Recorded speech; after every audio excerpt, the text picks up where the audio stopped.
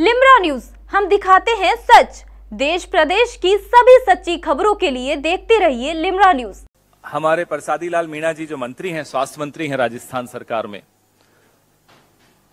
इन्हीं के इलाके में राहुल जी ने गहलोत साहब से पूछा,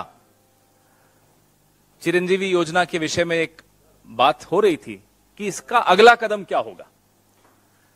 तो मुख्यमंत्री जी ने कहा था कि राइट टू हेल्थ इसका अगला चरण होगा।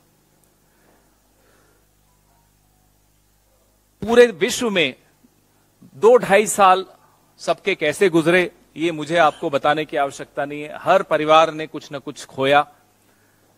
किसी का व्यापार, किसी के परिवार के सदस्यों की क्षति हुई।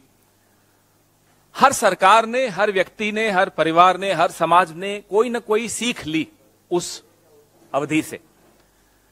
राजस्थान सरकार ने बड़े गर्व के साथ हम आपको बता रहे हैं, जो सीख ली वो ये थी कि खर्च कहाँ करना है, बजट कैसे बनाना है, क्या प्राथमिकताएँ होनी चाहिए राज्य की, किस तरह की सेवाएँ स्वास्थ्य के क्षेत्र में देनी चाहिए लोगों को।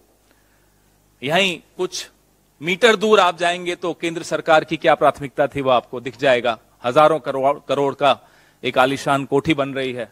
जिसमें नरेंद्र मोदी जी रहेंगे, पार्लियामेंट बन रहा है, एक वैनिटी प्रोजेक्ट आपने देखा। हर सरकार की अलग अलग प्राथमिकताएँ कुछ सरकारों ने, जैसा मैंने आपको कहा, सही पाठ सीखे उन ढाई सालों में।